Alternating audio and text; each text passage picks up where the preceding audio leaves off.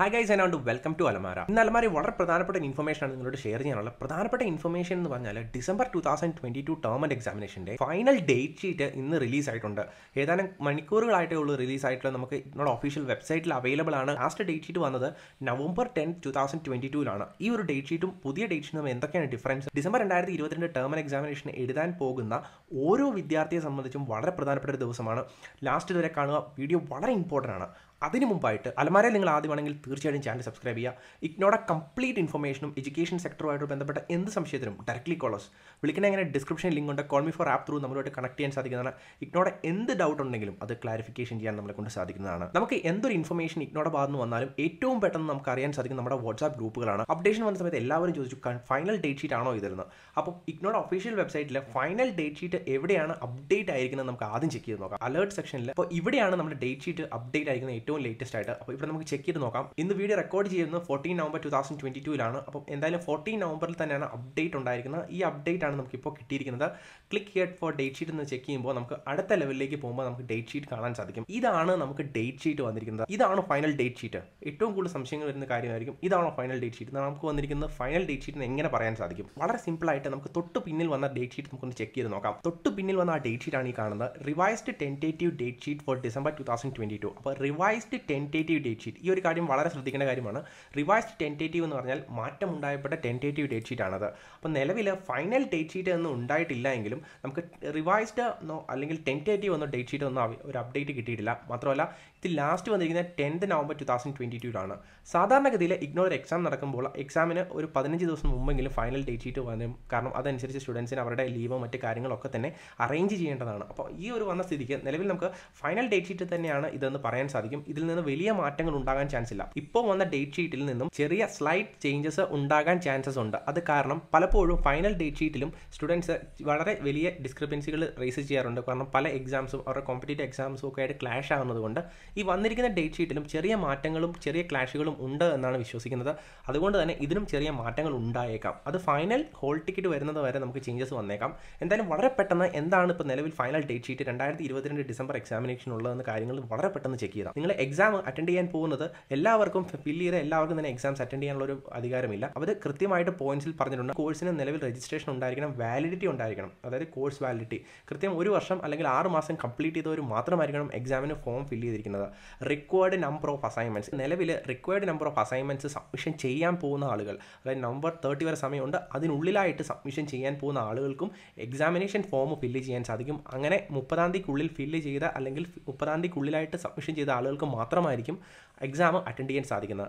Minimum time period കഴിഞ്ഞിരിക്കണം. മാത്രമല്ല minimum പറഞ്ഞിരിക്കുന്ന എക്സാമിന് എല്ലാ എക്സാം ഫീസും കോഴ്സുകൾക്ക് അടച്ചിട്ടുള്ളവർക്ക് മാത്രമായിരിക്കും ഹോൾ ടിക്കറ്റ് റിലീസ് ചെയ്യുന്നത്. ഈ പറഞ്ഞിരിക്കുന്ന കണ്ടീഷൻസ് ഒന്നും ഫോളോ അപ്പ് ചെയ്യാത്ത ആളുകൾക്ക് എക്സാമിന് എഴുതാനോ അവരുടെ റിസൾട്ട് ഡിക്ലെയർ ചെയ്യാതിരിക്കാനുള്ള കംപ്ലീറ്റ് അധികാരം യൂണിവേഴ്സിറ്റിക്ക് ഉണ്ടെന്ന് പറഞ്ഞിട്ടുണ്ട്. ഇഗ്നോയിൽ എക്സാംസ് ഈ വരുന്ന ഡിസംബർ സെക്ഷനിൽ നടക്കുന്നത് രണ്ട് സെഷനായിട്ടാണ് ഒന്ന് മോർണിംഗ് സെഷനാണ് മോർണിംഗ് സെഷൻ പത്ത് മുതൽ ഒന്ന് വരെയും.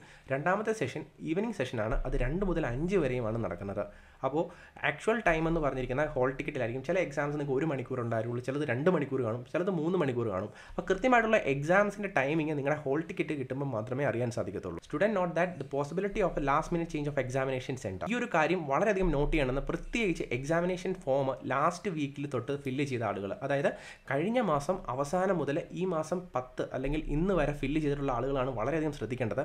ലാസ്റ്റ് വീക്ക് തൊട്ട് എക്സാമിനേഷൻ ഫോം ഫില്ല് ചെയ്തപ്പോൾ നമ്മൾ ചിലപ്പോൾ സെലക്ട് ചെയ്തിരിക്കുന്ന സെന്റർ ആയിരിക്കും നമുക്ക് ഇഷ്ടപ്പെട്ട സെന്റർ ആയിരിക്കും നമുക്ക് കിട്ടിയിരിക്കുന്നത്. പക്ഷേ എക്സാമിന് ഫീസ് അടച്ചതിന് ശേഷം ഹോൾ ടിക്കറ്റ് വരുന്ന സമയത്തായിരിക്കും നമുക്ക് ഈ പ്രശ്നം ഉണ്ടാകുന്നത്. നമ്മൾ സെലക്ട് ചെയ്തിരിക്കുന്ന സെന്റർ ആയിരിക്കില്ല നമുക്ക് ഹോൾ ടിക്കറ്റിൽ മെൻഷനിങ് ആയിരിക്കുന്നത്.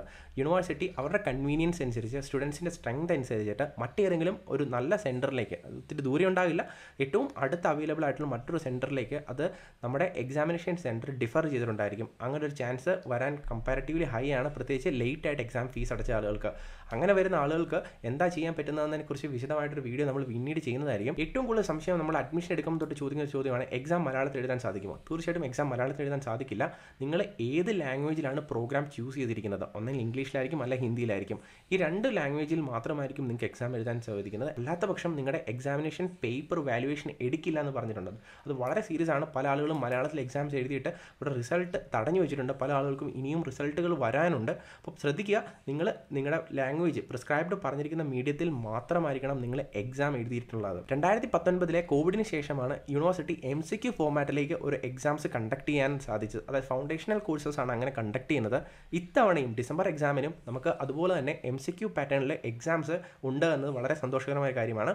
B D P B T S B C A B S W പ്രോഗ്രാമിന്റെ foundation കോഴ്സായിട്ടുള്ള B S H F one nought one F S T zero one C L I S C B S പ്രോഗ്രാമുകളുടെയും പിന്നെ C B C S credit based choice സിസ്റ്റത്തിലുള്ള പുതിയ degree പ്രോഗ്രാമിന്റെ B E V A one eight one അതായത് എൻവയോൺമെന്റൽ സ്റ്റഡീസിന്റെ പേപ്പറും നമുക്ക് M C ആണ്. Duration of എക്സാമിനെ കുറിച്ച് പറഞ്ഞിട്ടുണ്ട്. അത് നിങ്ങളുടെ കൃത്യമായിട്ട് എക്സാമിന്റെ ക്വസ്റ്റ്യൻ പേപ്പറിൽ മെൻഷനിങ് ആയിരിക്കും. അത് നിങ്ങൾ സെർച്ച് ചെയ്താൽ നോക്കിയാൽ മതി. നിലവിൽ നമുക്ക് എക്സാംസ് സ്റ്റാർട്ട് ചെയ്യുന്ന രണ്ട് പന്ത്രണ്ട്. അത് ഡിസംബർ രണ്ടാം തീയതി എക്സാംസ് സ്റ്റാർട്ട് ചെയ്യുന്നതായിരിക്കും നമുക്ക് എൻഡ് ചെയ്യുന്ന ലാസ്റ്റ് ഡേറ്റ് എന്ന് പറഞ്ഞത്.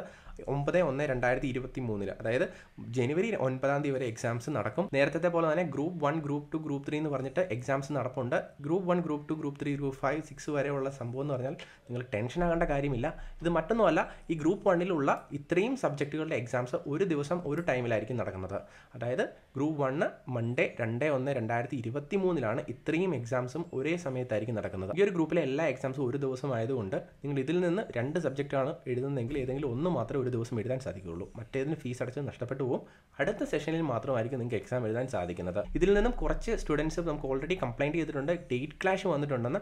ഇൻ കേസ് നിങ്ങൾക്ക് ഈ ഒരു ഡേറ്റ് ഷീറ്റിലും എന്തെങ്കിലും ഡേറ്റ് ക്ലാഷുകളോ മറ്റോ ഉണ്ടായിട്ടുണ്ടെങ്കിൽ നിങ്ങൾ യൂണിവേഴ്സിറ്റിയെ തീർച്ചയായിട്ടും അറിയിക്കണം. എന്തായാലും ഇന്ന് നവംബർ പതിനാലാം തീയതി തന്നെ ചിൽഡ്രൻസ് ഡേയുടെ ദിവസം തന്നെ യൂണിവേഴ്സിറ്റിയുടെ ചിൽഡ്രൻസ് ആയിട്ടുള്ള നിങ്ങൾക്ക് വേണ്ടി യൂണിവേഴ്സിറ്റി അവരുടെ official final date sheet publish ചെയ്തിരിക്കുകയാണ്. ഈ ഫൈനൽ ഡേറ്റ് ഷീറ്റിലാണ് നമുക്കിപ്പോൾ നിലവിൽ കുറേയധികം കാര്യങ്ങൾ പറഞ്ഞത്. ഇതുമായിട്ട് ബന്ധപ്പെട്ട് നിങ്ങൾക്ക് എന്തെങ്കിലും സംശയം ഉണ്ടെങ്കിൽ കമന്റ് ബോക്സിൽ കമന്റായിട്ട് രേഖപ്പെടുത്താൻ മറക്കരുത്. അല്ലെങ്കിൽ ഡയറക്ട്ലി കോളസ് വിളിക്കണ എങ്ങനെ? ഡിസ്ക്രിപ്ഷൻ ലിങ്ക് ഉണ്ട്. നമ്മുടെ വാട്സ്ആപ്പ് ഗ്രൂപ്പുകൾ നിങ്ങൾക്ക് ജോയിൻ ചെയ്യാൻ സാധിക്കുന്നതാണ്. എല്ലാത്തിനെയും ലിങ്ക് ഡിസ്ക്രിപ്ഷനിൽ അവൈലബിൾ ആണ്. So do check the links in the description below and you will find It's very useful. All the best and keep preparing for your December 2022 examination.